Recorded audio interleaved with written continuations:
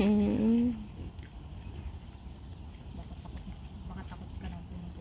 May isang pamilya, oh.